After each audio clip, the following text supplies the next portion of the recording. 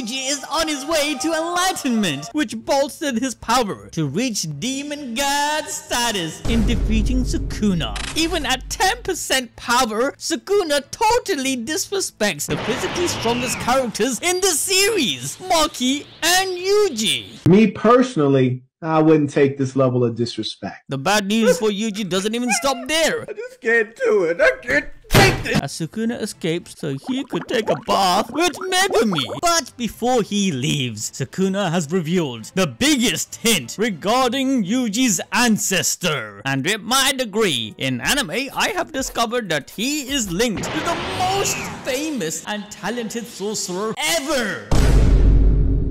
In chapter 214, Sukuna states, I get it, the boys from that time. Jaku does the grossest things. That time being the golden age of sorcery, the Heian era, over 1000 years ago. Kenjaku's schemes of brokering deals with ancient sorcerers made it possible for them to reincarnate in the modern age. However, his most nefarious plan was with Yuji, as he personally took part in giving birth to him. This special project gave Itadori many traits such as supernatural raw power and speed, along with being the perfect cage for Sukuna. In chapter 215, Sukuna elaborates exactly who Yuji reminds him of, a person being from Harima. Just this name alone opened the doors to understanding Yuji's origins. So welcome to my classroom as I deduce what it exactly means. This is all linked to Abe no Seimei, the greatest sorcerer in Japan. The area around the modern Hyogo prefecture was called Harima during the Heian era. This place was known for producing a number of sorcerers until the early 1600s. Just like Yuji, Seimei was naturally talented and developed rapidly under tutelage, becoming an official sorcerer at the royal court. Remember, according to Gojo, who recognized that though not possessing an innate curse technique, Yuji still developed rapidly under his guidance. However, Seimei was also pathetic in a way. Despite being blessed with natural talent for sorcery, his rise for fame did not come until he was 50 years of age. Thus, he was an extremely late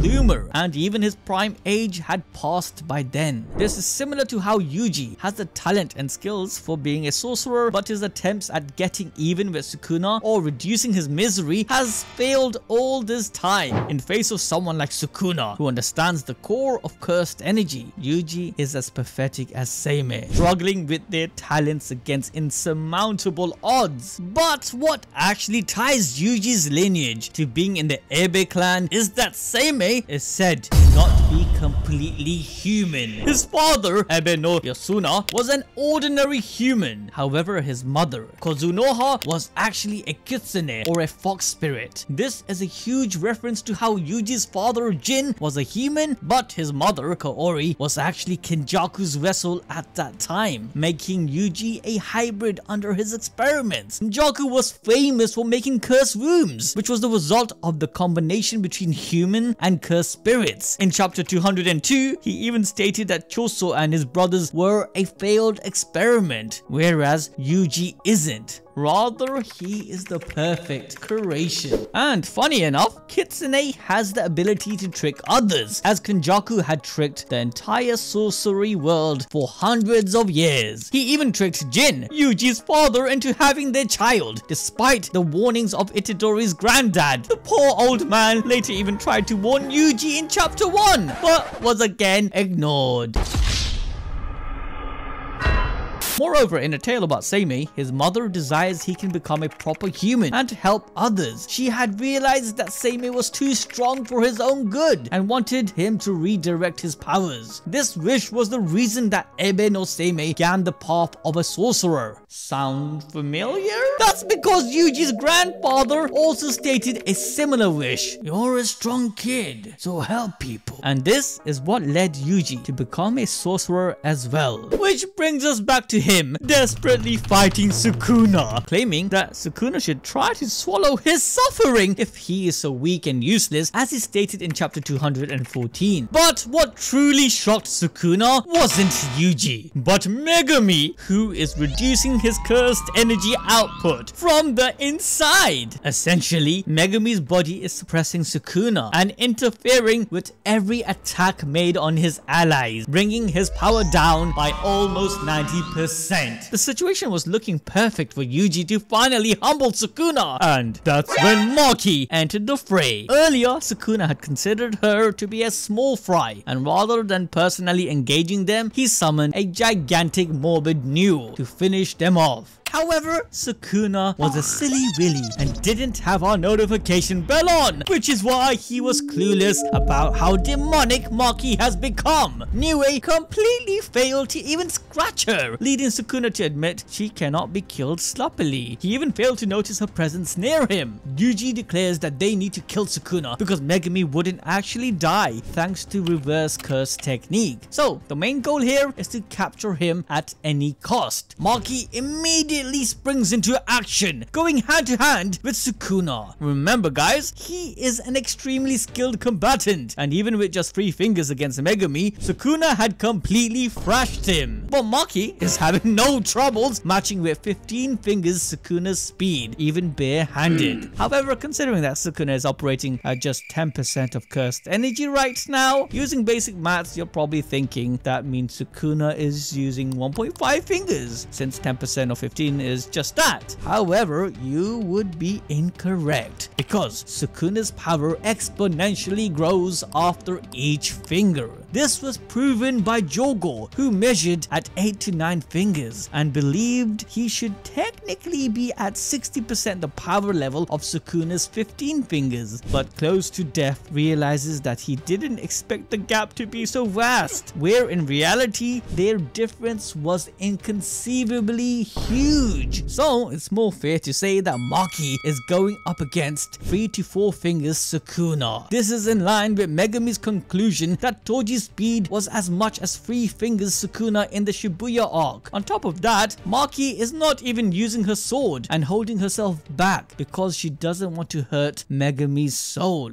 But all of this proves Yuji's enlightenment to demon god status is clear, as he managed to keep up with Maki and even agreed to raise their speed, all whilst also recovering from his injuries sustained in chapter 214. Now, although his recovery seems to be reaching a special grade, Maki displayed higher regeneration as she healed everything within 3 minutes after Naoya destroyed her. But whilst Yuji still isn't as skilled in contrast, he has a huge weapon up in his arsenal thanks to cursed energy, the Black Flash. Especially since Yuji has already shown talent on par with Nanami's Black Flash record in no time at all. The story even narrates that no sorcerer can use it at will, not even Satoru freaking Gojo. But since Yuji is so amazing at it, it seems like he can. It's as though he's blessed by the sparks of black due to his potential potential. Moreover, sorcerers who use Black Flash immediately gain an immeasurable higher understanding of the essence of cursed energy, alluding to Itadori's growth becoming like a Heian era Sukuna. This would be a poetic display of power that a weak human can possess. Yuji's appearance and attitude was recognized by Sukuna and Uraume to a person from their own era. To them, this person must have also desperately tried to stop Sukuna's rampage. The Itadori Family all look alike, but they seem to have an aura of kindness around them. This must be the reason why Sukuna finds Itadori laughable as his predecessor failed just as he did. But the key difference here will be Kenjaku's manipulation of Yuji's biological and spiritual makeup. Even though he has the genetics of the Itadori family, which we believe links back to the Abe clan, Yuji's unique existence has something to do with Sukuna that he himself doesn't realize as of yet. Knowing Kenjaku Kenjaku, he understands the perfect being Sukuna was, so it's not far-fetched to think he created Itadori not only for Sukuna to use as his vessel, but also to create a being capable enough to hold the new curse energy that he is trying to create with Tengen's merger. Itadori's familiarity to Black Flash already heightened his affinity to curse energy, so controlling the power Kenjaku will create will come as a second nature. This could mean that Itadori will become the new Sukuna and the demon god of this era. But for now, not being able to go all out against these two, Sukuna introduces us to his new technique, Spider Fred, where he is able to use his cleave on the ground, following a web-like pattern. This is actually an amazing AoE attack considering it doesn't use a lot of curse energy. And to make matters worse, just as the odds for Itadori's first win against Sukuna were seeming favorable,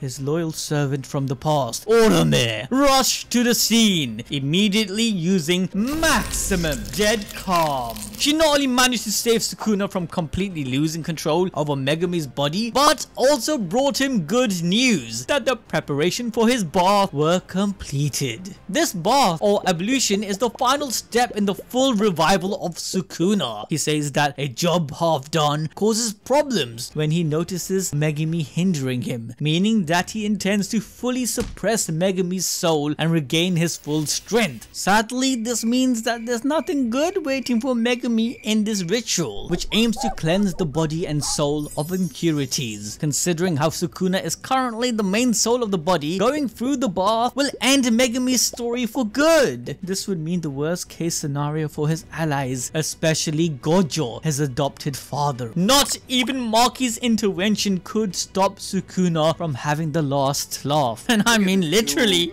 like Uraume and Sukuna had their own mean girl moment, whilst laughing the hearts out at Yuji, who fails desperately in trying a last ditch effort of breaking through Uraume's eyes to stop them. In fact, the only reason Sukuna decided to leave Yuji alive was so that he could face overwhelming despair. Talk about prideful willing at its finest. Come on Akutami, let my man have at least one win. No. He's having the worst possible time of his life since the last couple of months and there's no way he can be broken down any more than he already is, right? Well, the biggest menace Kenjaku was tagging along with Uraume, so it might be time for another parent-child reunion. Akutami is clearly bringing Jujutsu Kaisen to its end, and with the last few hints about Yuji's origin, Kenjaku is most definitely going to reveal it all. This truth and Yuji's purpose will totally rattle him. But if you guys want to know Kenjaku's secret before Yuji, and then continue watching Peak Fiction with this video on screen here.